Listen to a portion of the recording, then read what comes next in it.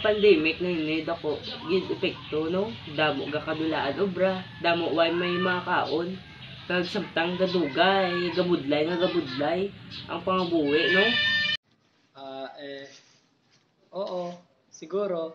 Di ako sigurado sinabi mo. Nogin, bago na ako dito sa Negros, pakisali naman ang sinabi niya sa akin, no? Madami daw ang naapektuhan ng COVID na yan. Marami na ang nawala ng pera at hanap buhay dahil may krisis na ngayon.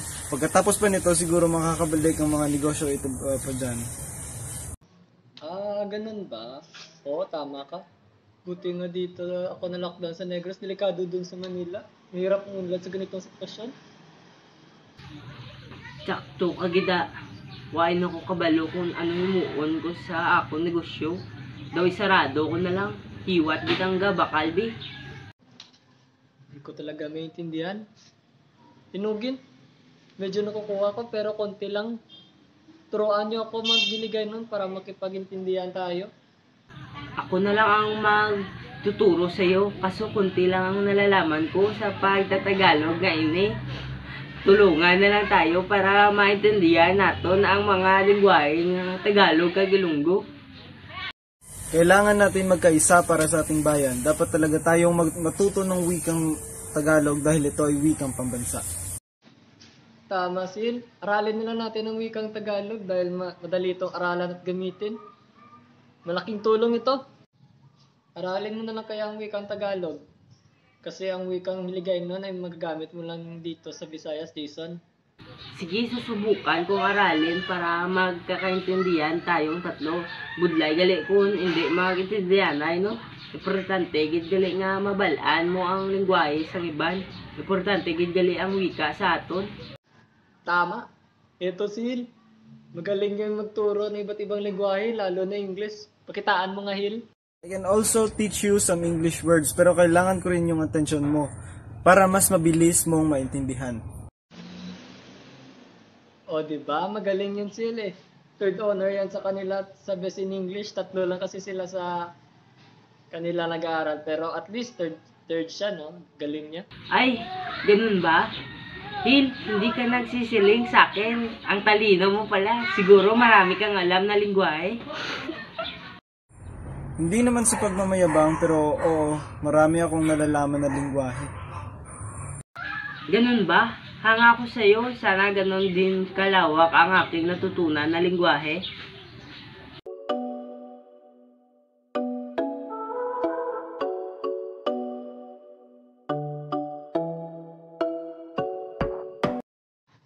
Ganun ba? Ako rin mahilig pumunta sa iba't ibang lugar dito sa Pilipinas. Pero isang lingwahe lang gamit ko at ito ay wikang Tagalog. Kung pupunta ka sa ibang bansa, kailangan marunong kang mag-Ingles. Oo nga, kaya pag-aralan ko na ang pag ingles Kasi may plano akong pumunta sa ibang bansa. Huwag kang mag-alala. Kayang itong turuan kung gusto mo. Mar- marunong rin akong mag-Ilonggo. Salamat, Hil. Kaya mo ba akong turuan bukas? Ikaw, Franz, gusto mo rin bang matuto? Oo nga, Nico. Sabay tayong matuto ng iba't ibang lingwahe. Oo, gusto ko rin matuto. Turuan niyo ako.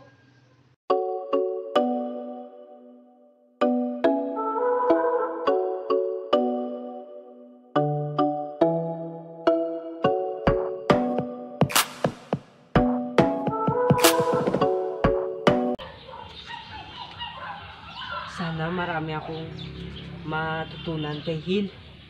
Sana mas madagdagan ang aking nalalaman sa lingwahe. Uy, Jason, ang aga mo naman. An- Andyan ka na pala. Tara, putahan na lang daw natin sila ni sa kanila.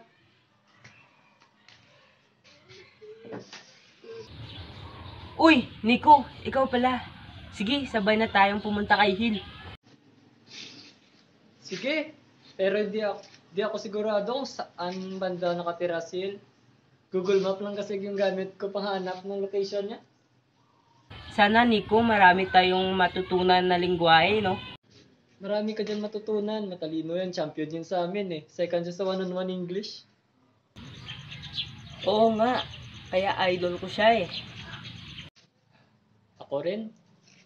Dahil sa kanya, Okay na sa akin makipag-usap sa mga taong nagkokonyo. Mga pre, andito na ako. Tara, turuan ko na kayo.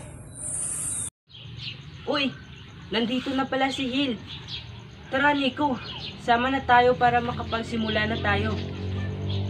Sige, tara. Excited na ako matuto na tinatawag na universal language.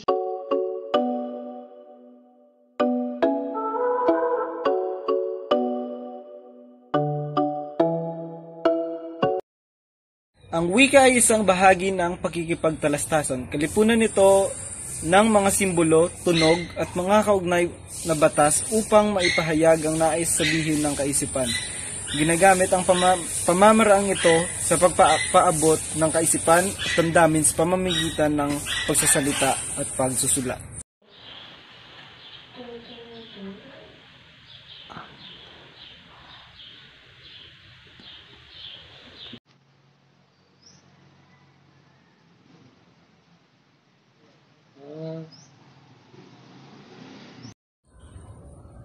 Ah, Ang lingwahe naman sa Ingles ay it is a system of communication consisting of sounds, words, and grammar, or the system of communication used by people in a particular country or type of work.